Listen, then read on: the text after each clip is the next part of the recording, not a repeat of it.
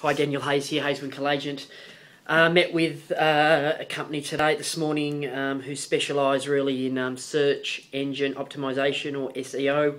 Um, it's an area that, that's lacking in my business. I really can't count. I, I really need to put more traffic towards my website. Um, a lot of a lot of my multimedia strategy that I have, the reality is I don't really have one. I'm just uh, doing stuff like this, and um, where's it headed? What's what's where's it taking me? I, I don't really know. I just do it because um, I enjoy doing it.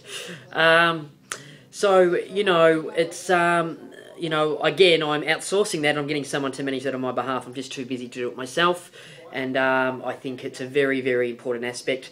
Um, one of the great things since leaving the franchise companies and going independent is that I actually get people ring up that have gone to my website specifically, have read things about the business, read things about our core values, they've read things about what we're about, and they've rang up and wanted to appraise their property, and, we, and we've got listings as a result of it.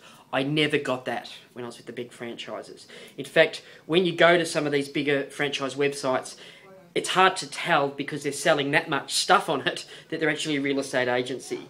Um, so you know, very we're very specific. We sell homes. Um, you know, that's what I'm about. I think it's hard enough to sell a home at the highest possible price um, without selling a whole lot of other stuff. Um, and to be honest, that's part of the reason I'm no longer with a franchise. Um, I sell homes, we're really good at it. And um, so, you know, real benefit to having your own website. And, um, you know, so ours is still really in its infancy. I think it's a great looking website, but I, I, it's hard for me to collect data from it at this point. So that's going to change in the next, you know, four to eight, 12 weeks. So, um, you know, we really are in the IT age. I mean, it, it's just, you know, I've got to get my, my head around this. Um, I, am not the most savviest of, of IT type guys. Uh, I'm fairly switched onto it, but, you know, um, I'm going to employ people that, that do this stuff for a living. Um, like anything, I think you've got to search for the right people.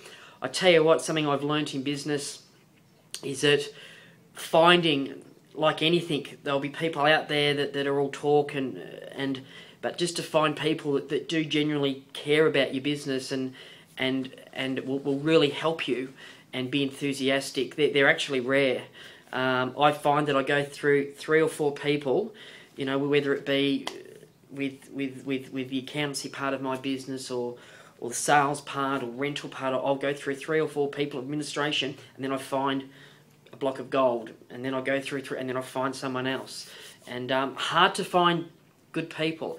Um, for me, that the search is is is re, you know is unrelenting.